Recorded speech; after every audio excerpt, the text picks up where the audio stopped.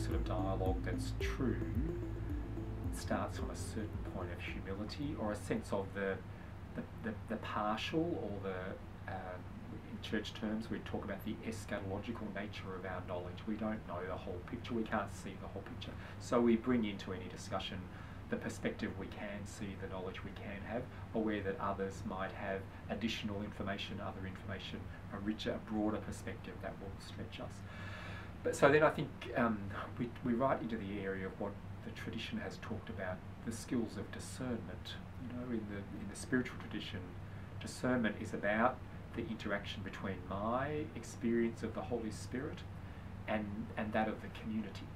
And so I take my personal sense of the Spirit's movement to the community in the monastery, to the to the abbot and to the community, in the church, to the to the broader church community.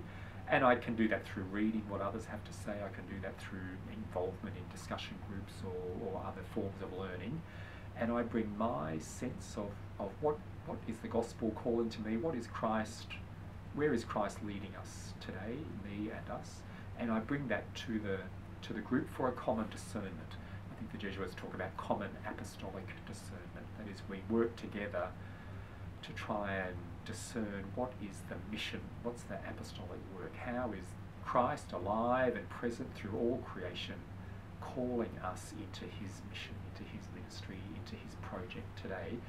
And that's probably something that I can have a unique insight into as an individual, but but it becomes part of the mission of Christ only by taking that into the corporate uh, discernment of the whole the whole church and that can be challenging. You know, we, we like to work in our own bubbles, you know, and maybe men are a bit more like that in general, but it can be challenging to say I sort of submit my spiritual insight, my sense of how Christ is calling us, I submit that to the greater community of the church to be sort of tested, you know, and shaken down and to contribute into a broader mission that might go in a direction I hadn't thought of before or hadn't anticipated, but I realise that's the right direction. I've had my contribution to it, but I haven't necessarily named the direction it's going.